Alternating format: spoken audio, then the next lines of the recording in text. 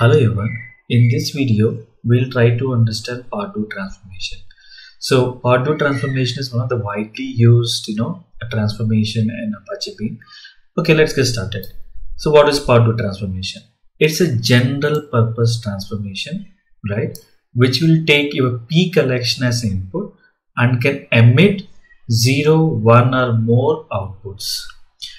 Okay, let, let me make it very simple. When you talk about map, flat map, filter, which we already have seen in our last videos, these are internal implementations of ParDo Okay, so so I uploaded the data. We know this data pretty well. This is what you know we are using from our last videos.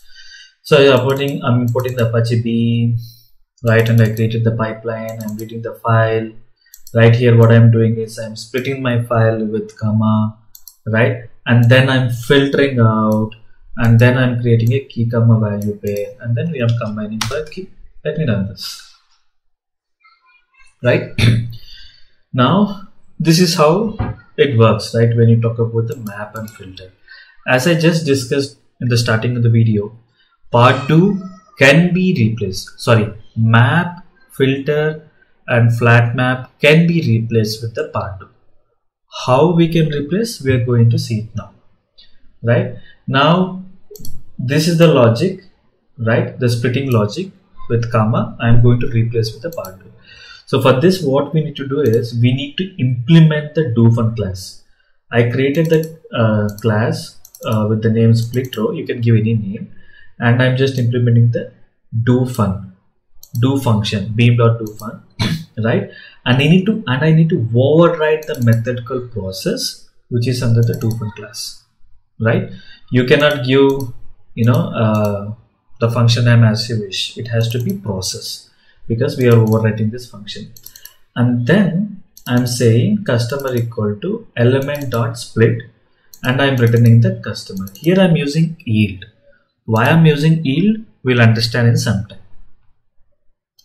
At the same time, what we are doing, we are filtering it, filtering based on the cash, right? So as again, I I uh, you know implemented the DoFn class, and then I override the method called process, right?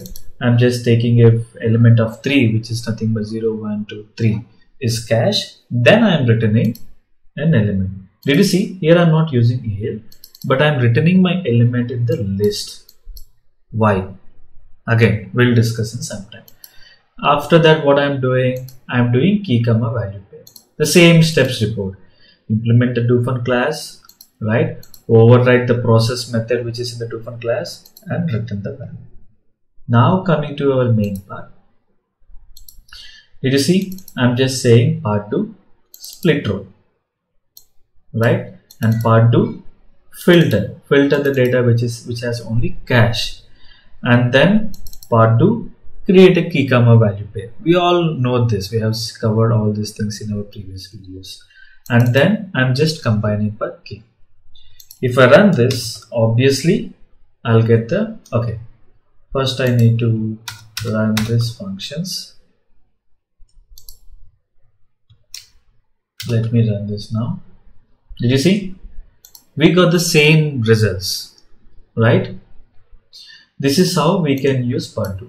Now, what I'm doing is instead of yield, let me just say return and see how it works.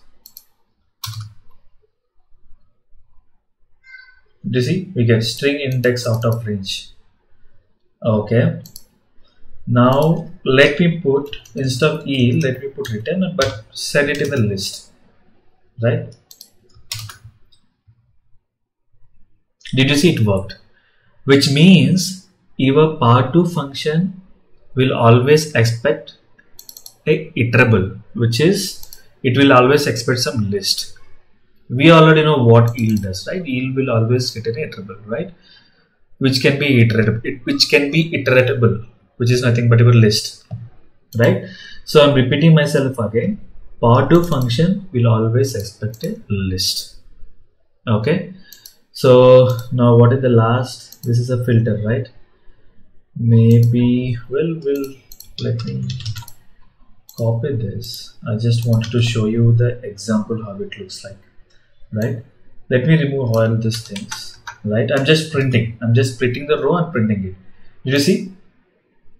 Now let's say if I remove this this particular list in my split row now let me run this. Did you see? 1 2 300 1 2 3 Vishwa 100 UPI 1 2 3 Sati 200 cash right? So it will expect all the elements as a list. Instead of you know return I can say yield. As usual I'm bad at spellings even though I do it many times right e will will obviously return a tuple right which is nothing but your list or tuple or whatever it is. Did you see?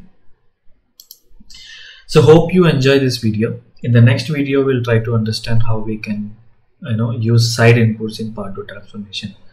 Please don't forget to subscribe to my channel. Thank you